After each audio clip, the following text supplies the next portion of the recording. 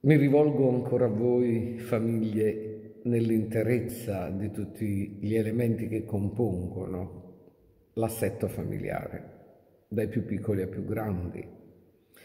E la giornata delle palme è nella nostra tradizione un momento particolarissimo e quest'anno avvertiamo con singolare condizione come debba essere vissuta nella sua profonda qualità e nel suo significato.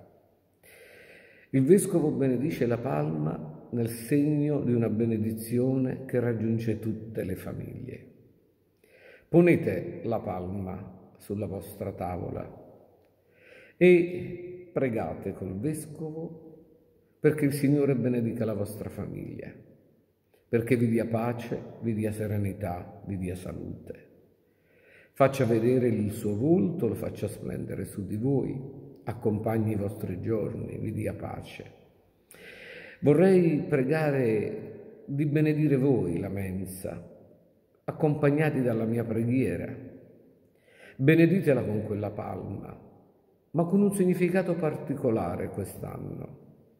La benedizione del Signore non è sulla palma, ma è su voi.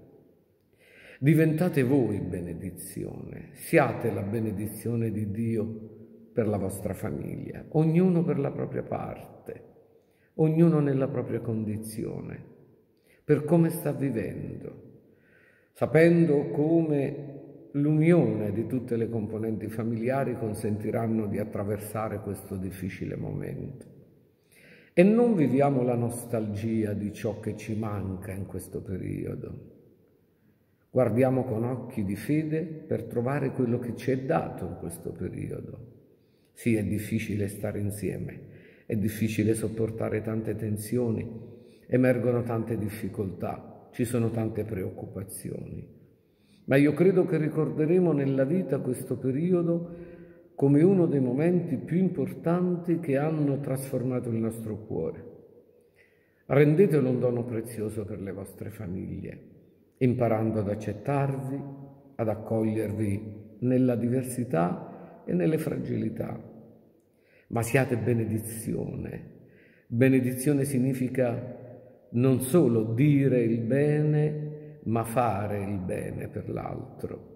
Per cui nel benedire la mensa, con quella palma benedetta attraverso la benedizione del Vescovo nelle vostre case, voi diverrete benedizione, dal più piccolo al più grande. Che il Signore accompagni questi giorni e vi dia salute e serenità, il vostro Vescovo.